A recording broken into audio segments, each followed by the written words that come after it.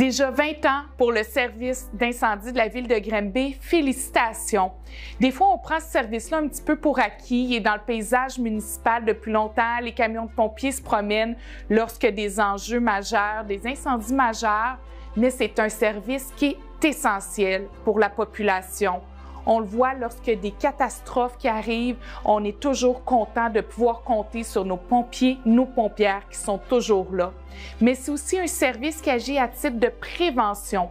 Ils sont là pour aller faire euh, le tour euh, à l'occasion des écoles, sensibiliser les jeunes, faire partie des fêtes de quartier, faire le tour au niveau euh, des maisons pour s'assurer qu'elles sont équipées correctement. Je tiens à les féliciter et les remercier pour le travail essentiel qu'ils font jour après jour. Bonjour, cet anniversaire est particulièrement important pour moi. J'ai servi la population en tant que policier durant de nombreuses années, 35 ans. J'ai vu naître le service des incendies. J'ai été aux premières loges pour le voir devenir ce qu'il est aujourd'hui. Travailler avec les pompières et les pompiers de Granby a été pour moi un réel honneur. J'ai été témoin de leur courage, de leur éthique de travail et de leur professionnalisme. Nous avons raison collectivement d'être fiers de ce service qui veille sur nous depuis 20 ans. Je termine en les remerciant chaleureusement, sans jeu de mots. Bon matin. Alors, il me fait plaisir de me joindre à Mme Bourdon ainsi qu'à M. Riel pour vous dire la fierté que je ressens à l'idée que notre service incendie a maintenant 20 ans. Il y a 20 ans, j'y étais. J'ai eu donc la chance de voir grandir notre service incendie au cours de ces 20 années. Je suis très fier de notre service incendie. Je suis très fier de dire également que notre service incendie contribue à faire de Granby ce que nous sommes, une ville rayonnante, par l'implication que nos hommes et femmes au service incendie font dans la communauté à travers les différentes activités communautaires. Vous faites rayonner la ville. Merci. Bonjour tout le monde. Le 11 mars 2002, débutait le service des incendies formé uniquement de pompiers et pompières tel qu'on le connaît aujourd'hui. Toutefois, depuis cette date, beaucoup de changements et d'innovations ont été réalisés afin d'assurer la sécurité des citoyens et des citoyennes de Granby. C'est fou ce que l'on peut faire en 20 ans. En ce 11 mars 2022, nous sommes une organisation mature qui est fier du travail accompli au quotidien par l'ensemble de notre personnel, tant au niveau administratif, opérationnel, que de la prévention des incendies.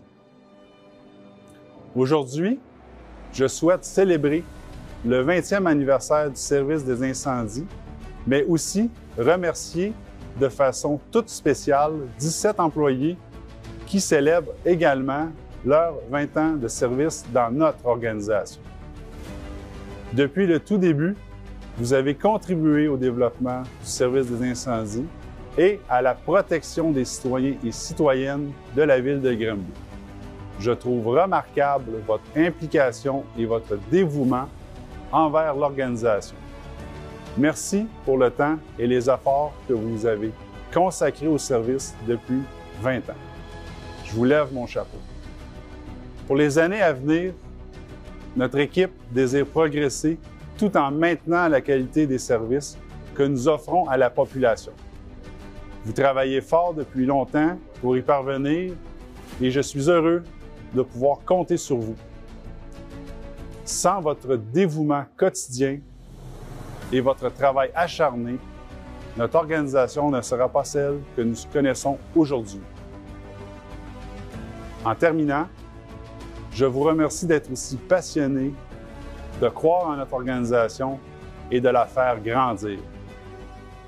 Bon 20e.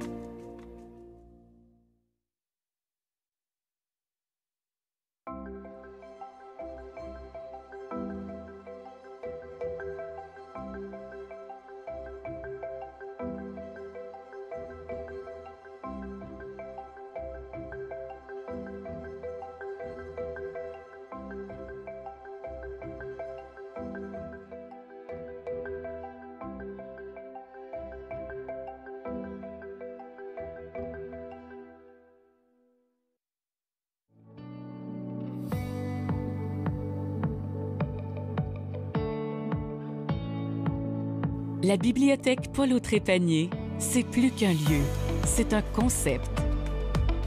Un concept de liberté intellectuelle où s'exprime la réflexion, la création et le partage.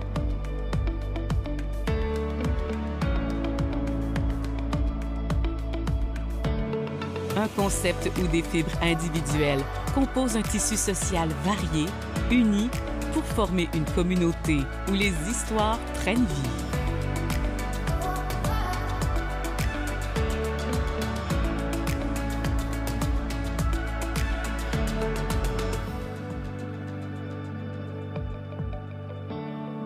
À travers ces histoires se racontent les chapitres d'un milieu de vie accueillant, dynamique et inclusif.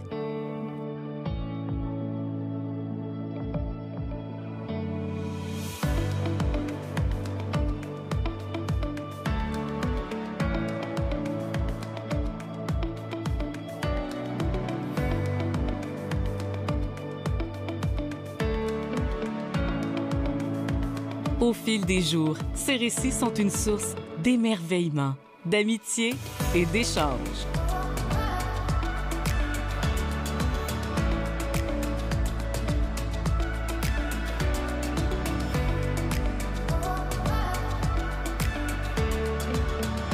Évoluant au rythme de l'ère numérique, votre bibliothèque vous accompagne.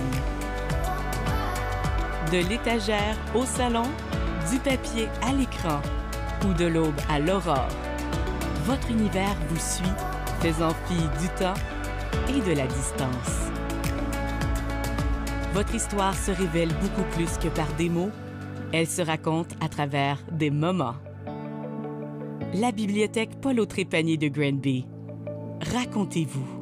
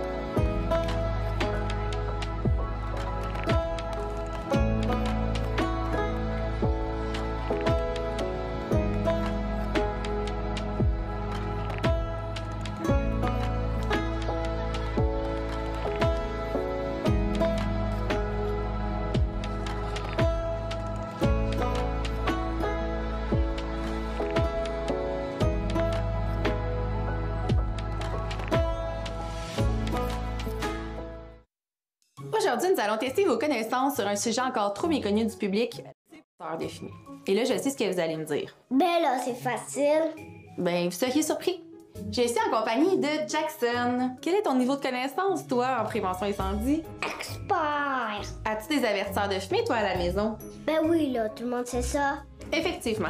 Un avertisseur de fumée est obligatoire dans chaque résidence et à chacune des étages. Il doit être installé à moins de 5 mètres des chambres à coucher, au plafond ou sur un mur à une distance de 4 à 12 pouces ou 10 à 30 cm du plafond.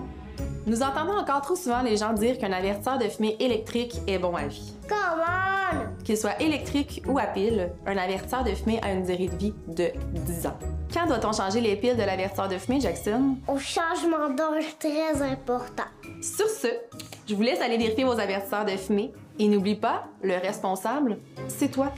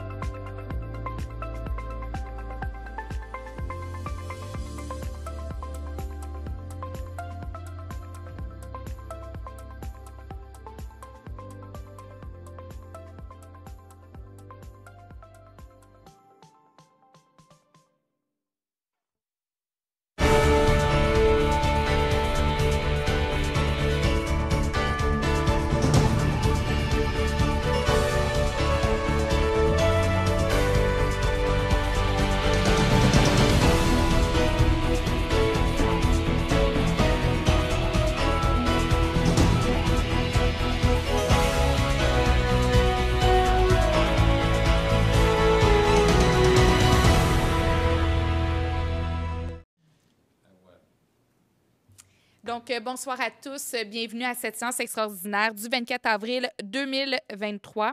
Donc, euh, ouverture de la séance adoption de l'ordre du jour. J'aimerais spécifier euh, l'absence motivée de M. Robert Vincent. donc, c'est ouvert par Mme Tremblay, appuyé par M. Riel. Donc, au niveau de la réglementation 2.1, Maître Meunier. Oui, je tiens juste à préciser, en fait, euh, considérant que c'est une séance extraordinaire, euh, je précise donc que l'avis de convocation et euh, l'ordre du jour ont été notifiés donc à chacun des membres du conseil. Donc, on est en mesure de tenir la séance extraordinaire en l'absence de M. Vincent. Alors, euh, donc, euh, projet donc à 2.1. Alors, il s'agit donc euh, d'un projet de règlement, donc modifiant le règlement de zonage afin donc, entre autres, d'interdire les postes d'essence dans la zone commerciale située donc au sud de la rue Denison-Est entre les rues Viti et Glen, considérant notamment donc que quatre des sept propriétés identifiées donc comme terrain d'intérêt particulier présentant un fort potentiel de redéveloppement se situent donc dans cette zone et euh, que seuls des usages donc structurants devraient être autorisés pour ce secteur.